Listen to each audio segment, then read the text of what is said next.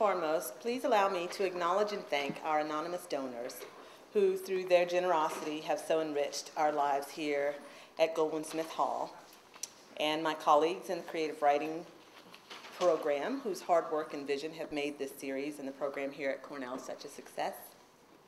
Thank you, Laurel Guy and Marianne Marsh. Where's Marianne? Marianne Marsh, always, always, for all you do to keep us sane. Thank you, Terrence, for finding time in your full schedule to come to Ithaca. Finally, thank you all for being here. I am sure after hearing Terrence read, you will be thanking yourselves all the way home. Be sure to buy Terrence's books on the way out, which John has for sale on the table up here, and you can thank yourself into perpetuity.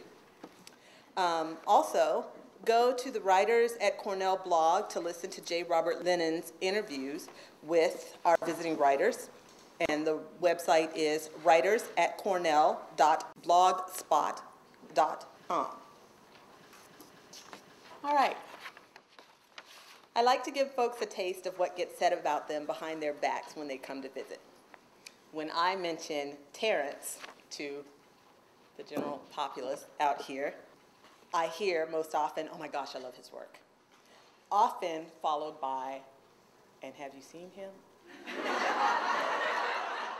like particularly good food perversely makes me want to go into the kitchen and slap the chef.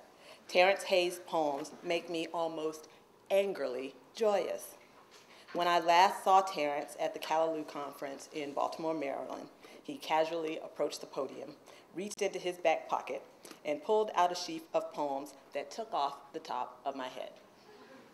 They were about Elizabeth Cotten, a black American musician who, by the way, lived up the road in Syracuse, and whose self-taught left-handed style, she played the guitar upside down, which required playing the bass line with her fingers and the melody with her thumb, influenced just about any guitarist in America that you can think of her name right now and added the phrase cotton picking to the American lexicon. As I sat in the audience in Baltimore and listened to Terrence read, I honestly found myself thinking, how dare he write a poem that good? He must be out his cotton picking mind. Anyone who wants a glimpse of our country at the precipice, its images and language turned upside down and played left-handed and made more real and dazzling, buy and read muscular music and hip logic and wind in a box. Brand names crowd the poems of muscular music, a collection filled with an angry humor that stops you and makes you think. Where are my goddamn fries? The speaker in What I Am demands. Ain't I American? And in Buy One, Get One, the speaker quietly wonders, how much do I deserve? Rereading Terrence's work in the context of this historical moment and the week that is to come, I ask myself, do we deserve this beautiful American poet? He makes us smile, but he does not spare us. Instead, he lays out our options clearly.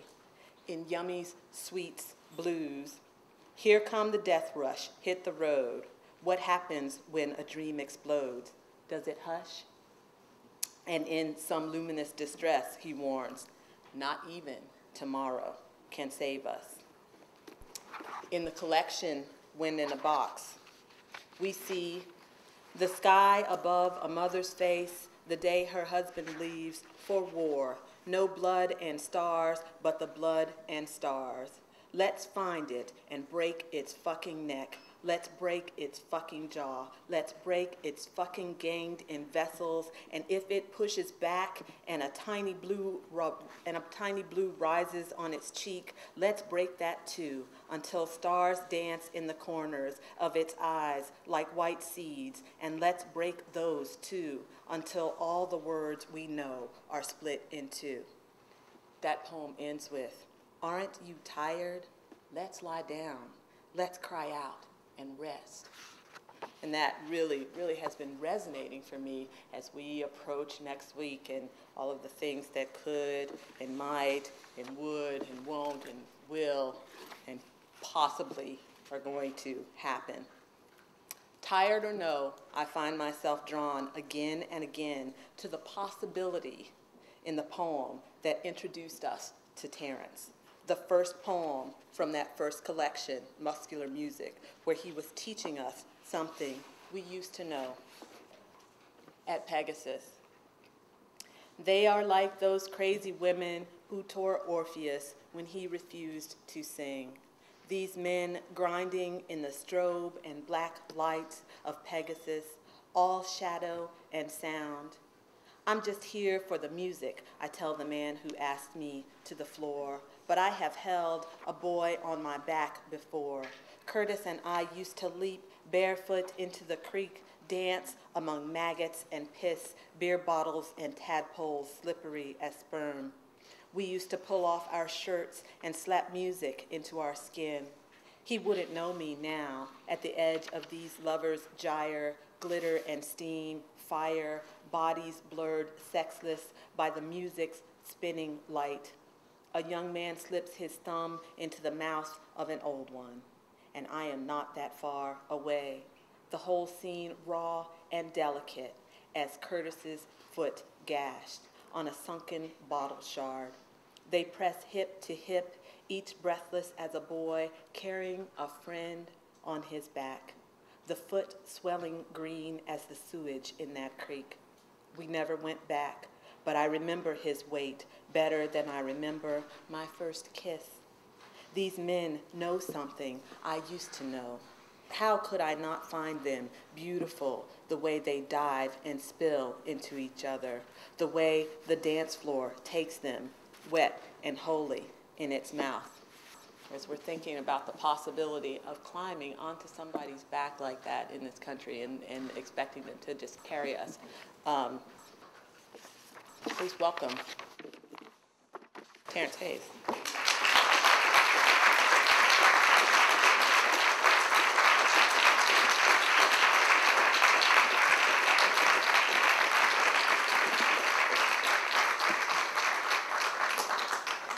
So you know I don't I don't really have a voice, but can y'all hear me? You can hear me? Okay, that's good. That's. I gotta pat my brow. I always think like praise makes me sweat. It, it does. It's like, oh God, I can't I can't follow that. I was really thinking you should uh you should read my poems is what I was thinking. I could just give you the book. You know, sorry, it's a little hard to hear you in the back. is it hard? How about that? I, I can't go up any louder. You can come up to the front.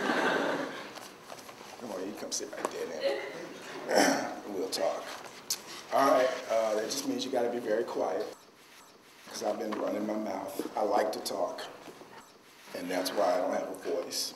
Although I made a confession to the kids this morning, I was telling them, you know, I like smoke one cigarette a day. I have like this cigarette roller, and then I just push it and I smoke one cigarette and then I write. So I was thinking, Dad, I guess I gotta stop smoking. I don't smoke out of the house. Nobody knows except for my wife. Now I just told you. I think that means I'm gonna stop. But that means I'll stop being a poet too. We're superstitious. All right, okay. Uh, we're gonna go.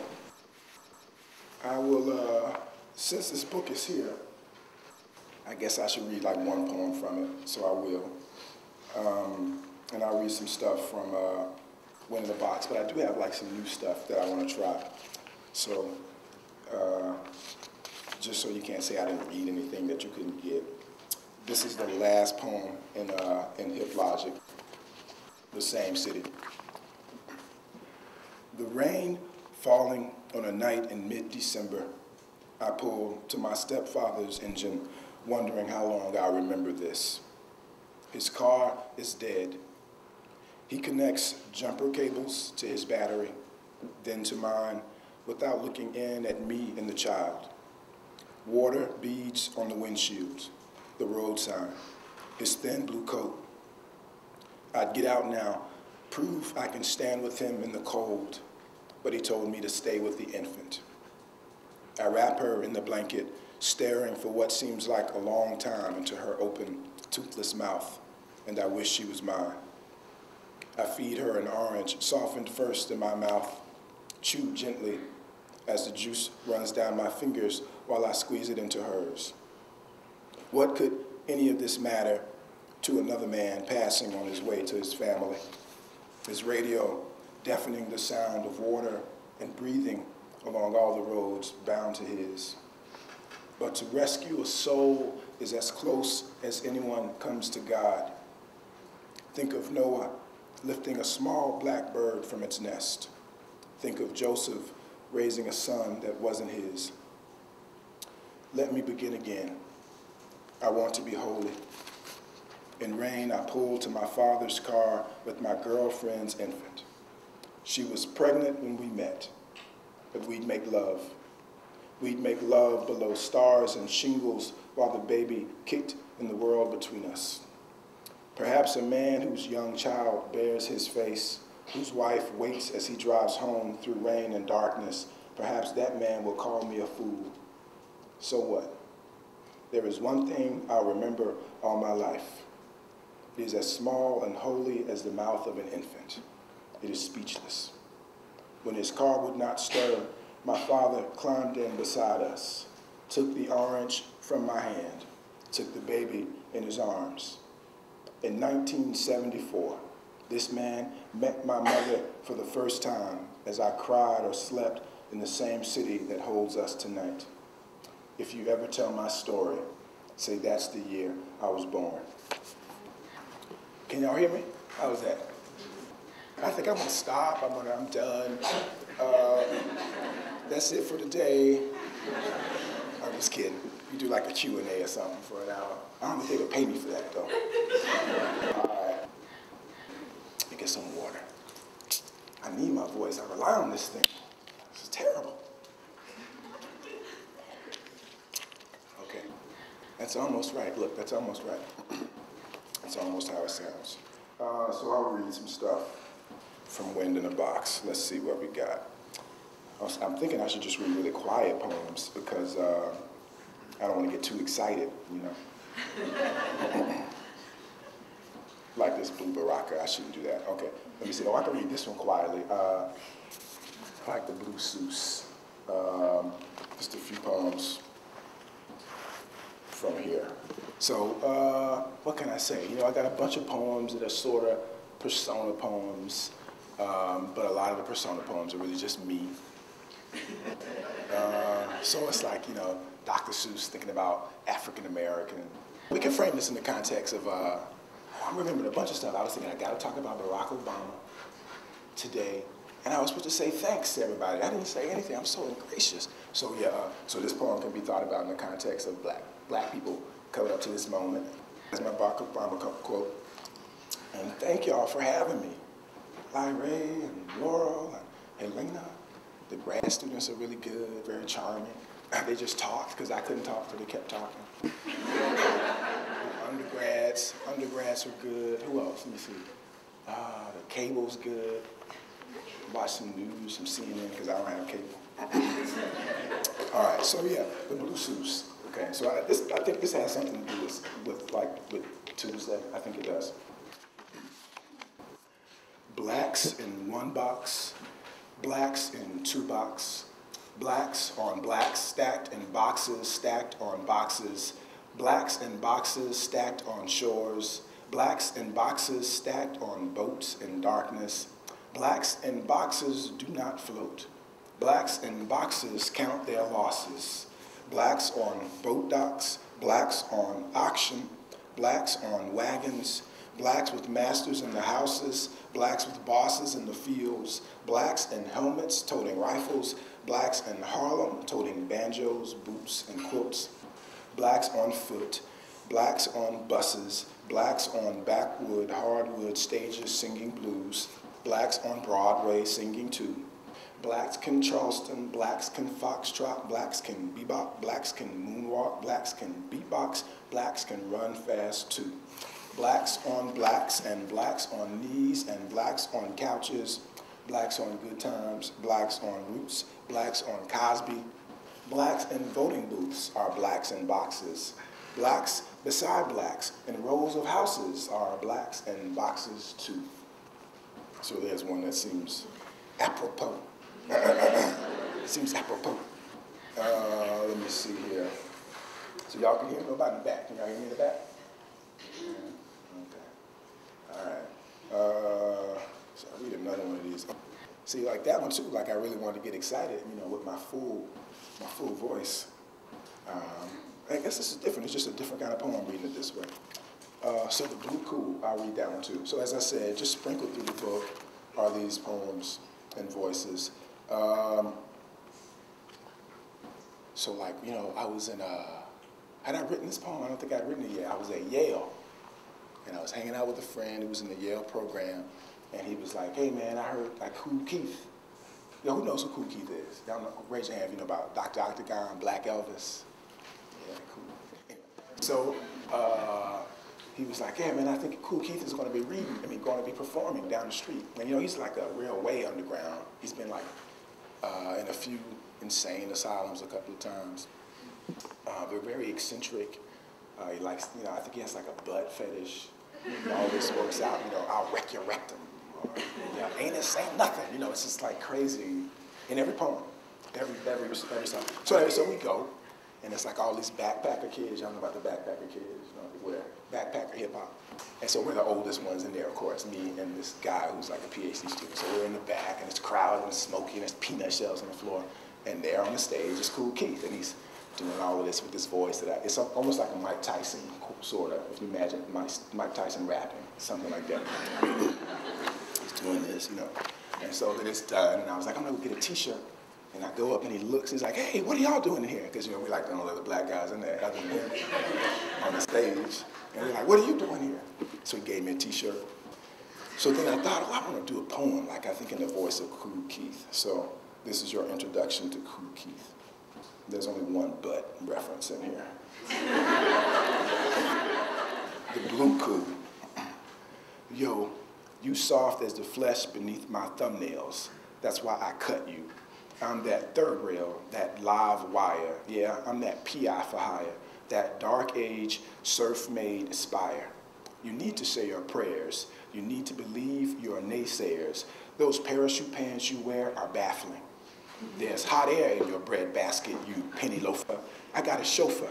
I'm laughing. My tour bus behind your limousine. No, your tour bus behind my limousine. Boy, you can't pass it. I'm too cool.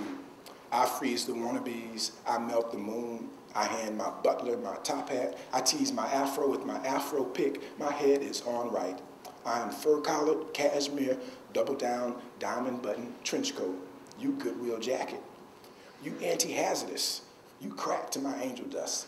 You better run before you get your butt kicked, you plastic spastic, you manic matchstick. I'm hot like that sunlight and classic rock. I'm that black Elvis, that black Bach. I'm too cool. I grind my pelvis, my back crack, your mama back crack too. I give her love bites. I'm daddy to you. Brush your teeth, empty your bladder before you greet me. That fat girl call you honey, all her kids call you daddy, the bastards. You have my sympathy, but you can't have my money. Don't write no symphonies or rap songs about me. Your style is lousy. Yeah, boy, I'm too cool. Don't talk about me. So that's, that's Kool Keith, I think. Me see if I can read. I, I, I thought in the room that if I just read very serious poems, I could sort of get over. But then I see I start reading that kind of stuff. Let me see here, some serious stuff. Uh, well, here's one, uh, The Whale. So, you know, my cousin Purvis is an uh, interesting guy. You know, he likes poetry, but he, he works in prison. Used to be in the Navy. He's got big old arms. He thinks he looks like LL Cool J. He doesn't, but he's got tattoos. So, but he likes, he like reads all kinds of stuff. He likes like Ernest Gaines. He's taking an interest in my work. he asked me to give him money when he got his big SUV towed away. You know, you see, kind of person. So anyway, so he said, hey man, you need to write a poem for me because you know, when I be telling these girls that we related, they don't believe it. So I was like, all right, okay. So uh, this this poem is, is for him. It's called The Whale. But I, I didn't tell him that the poem was in the book when I gave it to him. The Whale. Just like that, your father's dead. Half of all the footsteps you've made in your lifetime swept away by the tide, gnawing the shore. The bits of shells like fragments of bone and teeth, sinking into the sand beneath you as you walk toward the people crowding the body of a young whale. A boy on the shoulders of his father. A woman slipping film into a camera. The skin peeling on a lifeguard's neck as he stoops, peering into the animal's eye, saying nothing. The audience silent or silenced by the sound of salt water sweet talking the shore as if sweet talking the earth from her prom dress. The tide stroking its hands along her inner thigh and finding the crop of razor bumps like the humped tiny backs of shells and smiling at the thought of the girl preparing for her prom date, the hair lathered and shaved away, the air leaving ripples inside the dress as the knee-high hem is lifted above the girl's waist and breast, the sound of the silk passing over her body like the sound of the tide uncovering and then covering the hard news of the day, the news returning each time it's washed away. Okay, see now I can't take my coat off, I'm hot. But it's got this thing on it, so let me just wipe my brow. So anyway, uh, you know, so that's a poem about him and his dad. His dad had died. I mean, I guess this is sort of related. You know, like I went through this whole thing of trying to find my dad. And uh, Purvis's dad was the only one who said, uh, oh yeah, I know him. And then like a month later, he died. So I thought, I'll write this poem. Oh, you're gonna have me out, right? It's okay. All right, thanks. So, uh, thanks. So, um, anyway, so I didn't tell him that the poem was in the book because, you know, it's about his dad and it's serious and he's real macho. So he had it, and like probably six months, seven months go by, and uh, he called me, and he's like, hey man, uh, I was looking through that book, and uh, I saw that poem, The Whale. Give me a fucking call. I didn't call him back, though. I just said, I'm not gonna say anything. What, what can I say? You know, it's a crazy poem. Uh, let me see, what, okay. I'm gonna read, uh, oh, I have some requests. I guess I'll do some requests. So there are a few poems in here. Um, titled Wind in the Box. Mm, they just sort of share the same title. I don't think, uh, I've been trying to argue that there, there's no relationship that just happen to have the same title, but nobody believes that. but here's one, Wind in the Box, after Lorca. I want to always sleep beneath a bright red blanket of leaves. I want to never wear a coat of ice. I want to learn to walk without blinking. I want to outlive the turtle and the turtle's father, the stone. I want a mouth full of permissions and a pink glistening bud. If the wildflower and anthill can return after sleeping each season, I want to walk out of this house wearing nothing but wind. I want to greet you. I want to wait for the bus with you weighing less than a chill. I want to fight off the bolts of gray lighting the alcoves and winding paths of your hair. I want to fight off the damp nudgings of snow. I want to fight off the wind. I want to be the wind, and I want to fight off the wind with its sagging banner of isolation, its swinging screen doors, its gilded boxes, and neatly folded pamphlets of noise. I want to fight off the dull straight lines of two by fours and endings, your disapprovals, your doubts and regulations, your carbon copies. If the locust can abandon its suit, I want a brand new name. I want the pepper's fury and the salt's tenderness. I want the virtue of the evening rain, but not its gossip. I want the moon's intuition, but not its questions. I want the malice of nothing on earth. I want to enter every room in a strange electrified city and find you there. I want your lips around the bell of flesh at the bottom of my ear. I want to be the mirror, but not the nightstand. I do not want to be the light switch. I do not want to be the yellow photograph or book of poems. When I leave this body, woman, I want to be pure flame. I want to be your song. Uh, let's see here. All right. Uh, well, maybe I'll come back to some of this. I, I do really want to try out some poems, some new poems. So you know the craziest thing about new poems is that sometimes they're bad. so you know you sort of want to end with them. You don't want to start with them, but you don't want to end with them either. So I figured I'll just kind of put this one in the middle. So let me see if I can describe this thing that I'm trying to do. Uh, Picha Kucha. Anybody know Picha Kucha? It's like this presentation format. Apparently it's all the rave, all over. Well, it was started in Japan. Apparently happens here a lot. But uh, like in May, I had already been trying to work on this poem about my dad, which maybe, I, maybe I'll read. Maybe I'll read that one. We'll see. And anyway, uh, so someone invited me to participate, and the setup is uh, it's like a slide. It's like a slide presentation meets a slam or something. So they give everybody a topic, and you come. You you can send in advance your images. So there's 20 images. They flash for 20 seconds each, and then you do your presentation. So you're kind of looking at the images, but not really, right? They just flash in 20 seconds each. So each one takes about six minutes or 40 seconds. Uh, and if you do like a Wikipedia, you'll see. I mean, it's apparently big. You know, I actually heard something about it on uh, NPR recently, even though they pronounced it wrong, I think, or I'm pronouncing it wrong. Somebody's wrong. But uh, so anyway, so I, I participated, and the, the topic then was like open systems. So they said, do whatever you want to do. You know, it's a Picha Kucha around open system. So I was like, okay, great. So I worked on it really hard, and you know, my wife was watching me, and she said, uh, you sure it's not just like a slideshow? And I was like, no, no. so I had all these crazy images, like an image of a little boy on his dad's shoulder, and the boy's got his whole fist shoved up in the boy's mouth. And I'm like, yeah, open systems, open systems. You know? so, so then I go, and uh, I'm the second person. So the first person goes, and she does a slide presentation. Like open systems meaning computer science. So I'm like, oh. So then I got up and I did it, and everybody was quiet, you know, bizarre, crazy stuff. So all I did was use like, for each 20 seconds, I just had like snippets of my favorite poems. Not mine, but other people's poems, like Baraka, you know, 20 seconds, and there's an image of like Kara Walker, you guys know the black and white cutouts, and the poem is like poems of bullshit. Uh, they would shoot, come at you, you know, all kind of crazy stuff. But it's not me. It's Baraka. But the kids are like.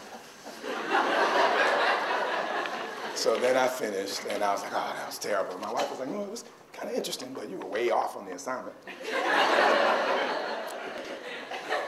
so then I said, oh, you know what? I wish I could like do that with my own work. I wish I could like lay out 20 images and then 20 seconds, 20 second poems, 20, 20 second poems around images. So that's what I've been trying to figure out. So that was like May, and I've been doing them. Uh, and maybe I'll read. The one that's I think is finished is the one about my dad, but that's a little too intense. Like the last time I read that thing, it was just it was way too much. So, so this is like a new one. Uh, I never say like what the sections are. I just sort of read it like it's a regular poem. But you can almost think of it as like scenes or something, a bunch of scenes. So it's called Tracks for My Brother, I think, and the X Brothers. I think that's what it's called.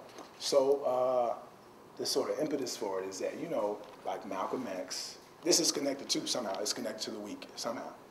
Uh, Malcolm X, you know, he had two older brothers that were also in the nation with him, Philbert X and uh, Wilfred X, right?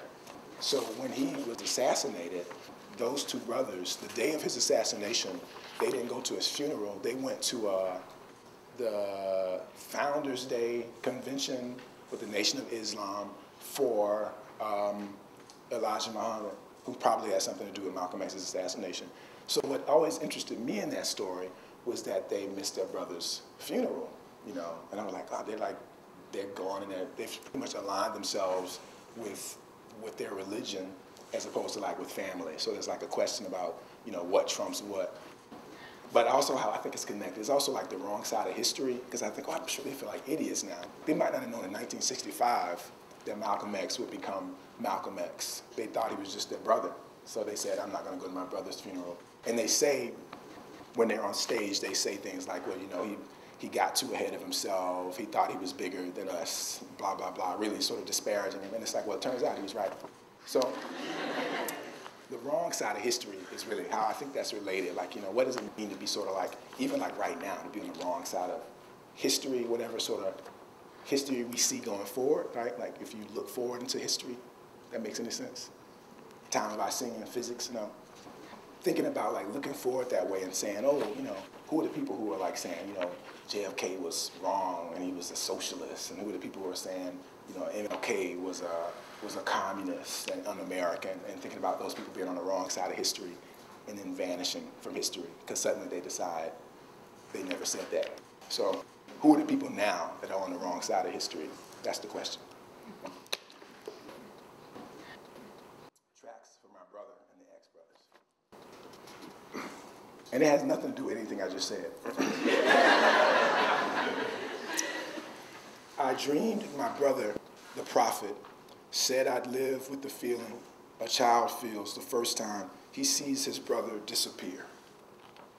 I went down on my knees, and sure enough, I was the size of a boy again, with my shin bones like two shiny tracks against the ground. I could almost hear a train carrying its racket up my spine. On this day in 1965, the brothers of Malcolm X were in the Dixieland Motel off Route 3 watching The Widow X on the black and white portable TV. If I was in this story, I would run the assassins down and remove their eyes. It does not matter if this is true, only that it can be conceived. I like to go walking in the woods when they are just shy of green, but I like sitting in a room with curtains dripping with lamplight too. I know a man playing piano an hour straight for no one to hear is not playing music because no one can prove it. And I know that the ones who can sing should sing for the ones who can't. However else fiction functions, it fills you with the sound of crows chirping, alive, alive, alive. That's temporary too. Tell my story begs the past as if it was a prayer for the next life. Turn me loose, I like to say, when it clings to me like meat, like feathers in rainfall, soaked but retaining their grace. I'm considering writing a story about the lives the brothers lead afterward. They will change their names a third time and abandon their families. They will visit their brother's grave at Fern Cliff. They will be poor and empty. One will bag the dead man's bones while the one holding the shovel begs him to hurry. I keep thinking about the dream of the big black bear stuffed in a corner of the bar me and my brother used to haunt. Our fingers were not so yellow then. The plans in our mouths were cloudy. There will be one or two scenes with the ex-brothers in a bar like that one, with quiet smoke and whiskey staining their teeth, and the bear will be a metaphor for something. I have no problem with the flaws of memory. The bird carcass stiff as a shoe of a hit and run victim on the side of a road might just be a veil the wind pulled from the face of a hitchhiking widow. Why was the imagination invented not to remake? For setting, the Dixieland twin beds will be narrow and covered with a dingy floral embroidery. On each pillow will be a sweating peppermint candy left by Lucy Ann, the nutty desk clerk, who'll say, damn, both y'all look like Malcolm X, but that can't be. They buried him up in New York today. I'm thinking of three brothers walking a dirt road with a white boy who'd seen only a summer before a black man strung up at the edge of town. They'll be singing when they drag the white boy to the river and throw him in. Just over the hill, the white boy's family will be picnicking. A hog on a split will be roasted beyond the color of sundown. How happy they'll seem. So the idea was to use details based on every interesting person I've met in my life.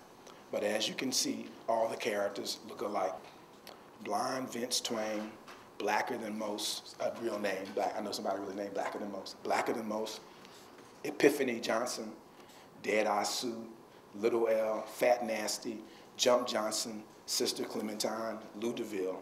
I should write a whole novel about each of them tonight.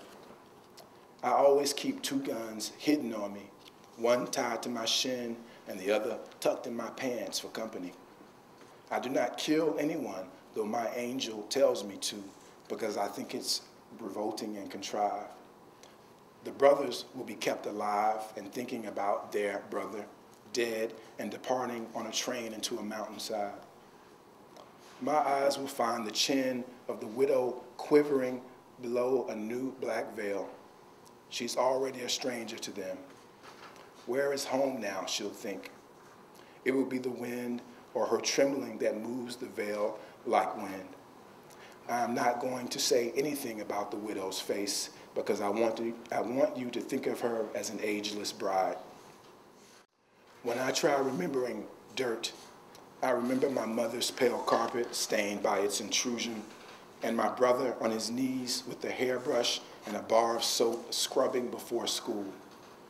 I do not know the names of birds or flowers, the wild sounds vibrating outside the house, but I know it's raining harder right now than it did last night. One brother will tell the other a story once in the shadow of a tree lit with bird song, when a black woman unbuttoned her blouse, all the birds came to dine. There are two kinds of people, the ones who root and the ones who roam, the ones bound to a place and the ones bound to an idea, whatever the idea may be. I would like to be as people think I am, instead of a man who slanders those who love him repeatedly. I imagine my brother must be 100 pounds heavier now than he was last year. If growing old is like slipping into a new coat without taking the old coat off, he's got the weight of his family. There's smoke in his mouth when he speaks to me. You'll find salt in the eyes of anyone who kneels long enough with his head in the dirt. I should tell you what happened to my brother when he was 16 my mother found him naked and weeping to himself in the hall closet. Because I was not there, there is no suitable place in the story for this scene. Later, both ex-brothers will show up at the widow ex's door and miss the softer woman she was. Here, I'm not going to ask for forgiveness because woe is a garment worn to wear. At their backs will be cold weather and their jackets will be wet with heaviness. They call me Silver Tongue. Because I am brother of the dragon, they call me Dragonfly. It's true, destruction teaches us to grow, but I never wanted to survive. I have an insomniac's sense of time. I am so lit from within, I could set myself aflame. It's true. The pair of tracks through the darkness, the black guys up for nothing disguised, the bewilderment that cannot be described. What I feel is why. In fiction, everything happens with ease, and the easefulness kills me. If I were in this story, I would send my sister-in-law my eyes. I'm full of dirt sometimes, blood of the hound. I promise nothing I write tomorrow will have a subtext. There will be no scenes in which all meaning is reflected through subtlety. And when my fiction fails, you can bet I'll drag myself to your arms, crying, speak to me. All right, so you know that's mostly for me more than for y'all. I think that's all right. You can tell me if y'all like it though, and then I'll, I'll, I'll never read it again. For you. All right, uh, let's see. So, so these are new poems too. None of them are that long. I don't, I don't think I'm gonna read the other poem because it's, you know, it's just long. It takes energy. So I'll just, I'll, I'll, you know, read a couple more new poems, and then we'll be done. Let's see here. Uh, should I read that? One? I guess that's sort of like in the same spirit. So this poem, um, Shakur is the name of this poem that I guess I'll read next. And, uh, you know, obviously it's like Tupac Shakur is in there somewhere. Because, um, you know, like but Tupac Shakur means like Shakur means like thanks be to God or something. So I think it's something like that too. Uh, but the deal is, I was uh, in Nebraska with this crazy poet. I won't say his name, but he's lived in Nebraska for a long time, so that's driven him crazy. and uh, we were just talking about some story where these two white kids, I guess they're a couple, had been doing meth, and then uh, they pulled over on the side of the road uh, no, in the winter, I guess. It might, yeah, I'm sure, sure it was the winter. Uh, and then they, they took a nap, and then they froze to death, you know, because it was Nebraska. So I kept thinking about that, and I kept thinking about Tupac Shakur, like on the radio, as this happens, and the, the music sort of washing them over as they, they fall asleep. So it's called Shakur. And again, you know, this, yeah, I mean, you can tell me later on Anybody got any uh, advice? I probably won't listen. But. Shakur, Shakur. I'm coming at you live from the halfway out, where the winter morning stretches out like a white sheet over lovers the infinite has fetched. The still and bone blue white couple found parked, frozen on the highway. I'm thinking of them and the drug that made them think they were warm enough to chill. Because I know staying alive requires pills and a wicked street. I'd need a head cocooned in bass. I need to be locked in a womb to hear your dopey two-note medley, your song pimped by wreckage, your light longing for lightness. I'd have to be as quiet as the youths whose youth made them stupid and lovely. They are God's niggas now, like you. I'm thinking of the stall of intoxicated cool that stalled you before it stalled them.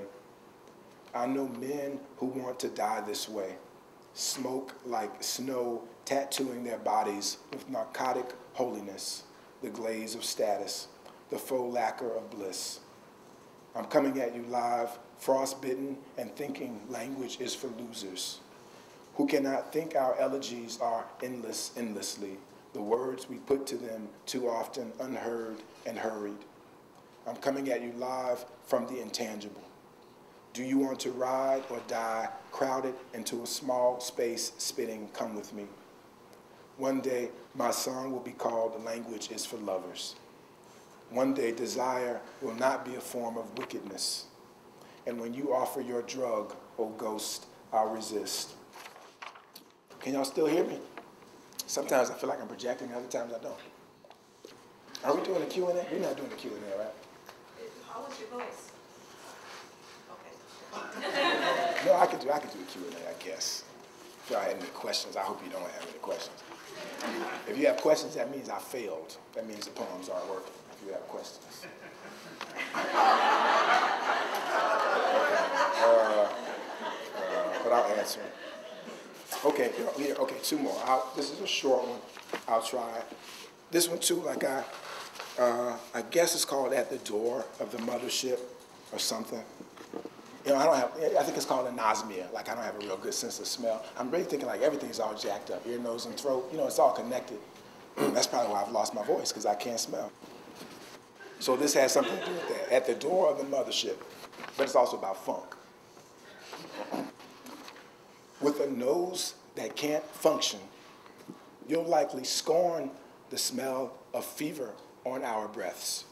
Each tongue pulped with liquor, veins of fire, and pores of fire's opposite. But you'll never have a cure for death. If you pinch your nose, you won't know what wind devoting its hours to motion knows. You won't be wooed by oozings lying on your belly between a lover's thighs singing mothership, mothership, mothership. You won't smell the blood's flesh blurring rhetoric. If you never inhale, you won't love survival as much as the ones who survive, singing, Swing down, sweet chariot, stop and let me ride. You have to want your funk uncut if you're too broke down or muzzled, too sober, cold shouldered, hardcore, or austere, if you're turning your snivel up, desanctifying the air, turn tail, baby, because your sick ass should not be here. Okay. Uh, and this, so this is the last one. It's called Lighthead's Guide to Addiction. And if you are addicted to sleep, a bay of fresh coffee may help. If you are addicted to coffee, teach yourself to break dance. If you are addicted to dancing, polio will cure you. if you hear that the last black man alive will be burned at sunset, find an underground railroad. If you are addicted to railroads, try wearing undersized shoes. No one knows where your mother has gone with her tax refund. If you are addicted to shoes, move to a village in Japan. If you are addicted to Japan, try eating with no teeth. If you are addicted to teeth, visit the wife beater's widow. She will be upstairs awaiting your caress. I often wake up horny. If you are addicted to masturbation, seek company. If you are addicted to company, try starlight and silence. If you are addicted to silence, find guard dogs, traffic, or infants. If you are addicted to infants, try reliable contraception. or try asking yourself, what's wrong with me? if you are addicted to contraception, try recklessness. Try riding an unsaddled horse until you are thrown into a bed of gravel. If you are addicted to recklessness, try a spoon fed disease. My mother loves imagining the day she'll die. If you are addicted to disease, visit an old world doctor. If you are addicted to doctors, try war. If you are addicted to sorrow, all my talk about loss is not lost to you. No one knows why your father built a shed for his weapons, probably some hellified form of addiction. If you are addicted to weapons, please find the people who plan to burn the last black man alive at sunset for me. or try learning a little history. Obviously, I'm addicted to repetition, which is a form of history. If you are addicted to history, try a blindfold of razors or buy a Cadillac. If you are addicted to Cadillacs, try poverty. No one is addicted to poverty, but if you are, try wealth. If you are addicted to wealth, you need money. If you are addicted to money, you'll need money. Try that.